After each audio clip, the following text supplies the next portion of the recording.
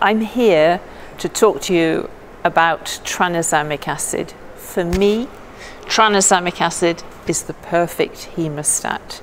We have done trials, huge trials in trauma, CRASH 2, randomized 20,000 patients, and showed that if you give tranexamic acid within three hours of injury, you will reduce mortality due to bleeding by a third. After that, we did a trial in postpartum hemorrhage across the world and looked at 20,000 women with postpartum hemorrhage. We got the same signal, a reduction in deaths, by, bleeding deaths by about a third.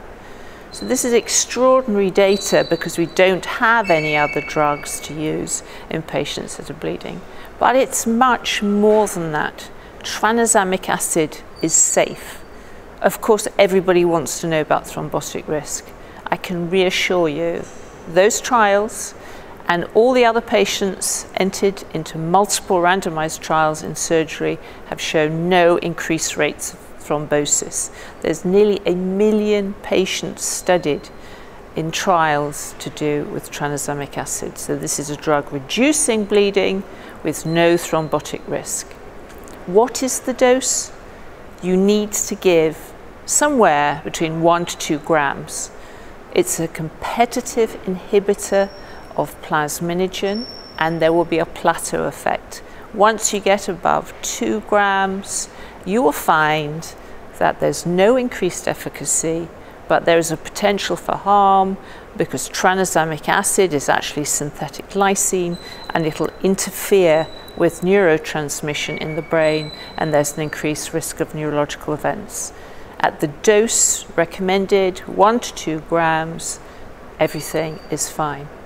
Of course, it doesn't stop there. If you use it in surgery, in preventing bleeding, it will reduce bleeding by about a third and it will affect mortality.